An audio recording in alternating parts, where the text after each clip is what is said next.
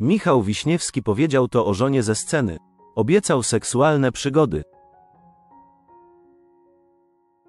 Michał Wiśniewski wystąpił na festiwalu weselnych przebojów. Zmienił tekst jednego z przebojów ich troje, nawiązując do seksu ze swoją żoną.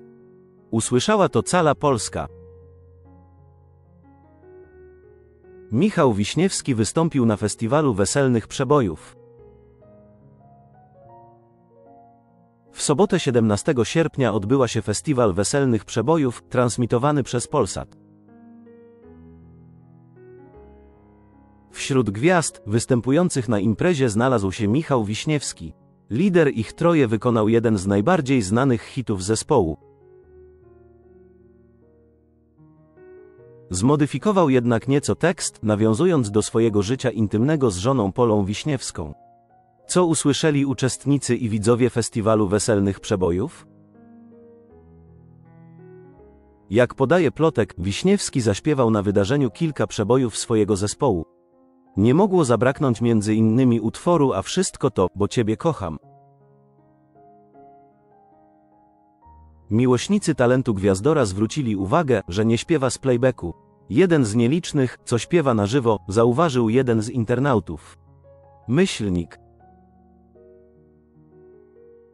Dwa lata temu byłem tutaj na jubileuszu, był cały komplet, a za rok w Sopocie, 30 lat ich troje, bądźcie z nami, mówił ze sceny piosenkarz. To jednak nie wszystko, co padło w kierunku fanów. Michał Wiśniewski zmienił tekst przeboju. Zwrócił się do żony w intymnym wyznaniu. Podczas wykonywania jednego z przebojów, Wiśniewski postanowił zmodyfikować jego tekst. Myślnik. Daj się skusić na wakacje, morze, plaża i kolacje, będziemy kochać się po świt, Polcia, zaśpiewał muzyk, kierując słowa pod adresem swojej obecnej żony. To jednak nie wszystkie aluzje do życia osobistego Wiśniewskiego, które usłyszeli widzowie festiwalu weselnych przebojów. Myślnik. Dla tych, co biorą ślub po raz pierwszy, dla tych, co wzięli i dla tych, co biorą jak ja po raz piąty, zażartował przed rozpoczęciem utworu, a wszystko to, bo Ciebie kocham. Nagranie z występu Wiśniewskiego trafiło na oficjalne konto na Instagramie stacji Polsat. W komentarzach można zauważyć, że wierni fani ich troje wspierają swojego idola.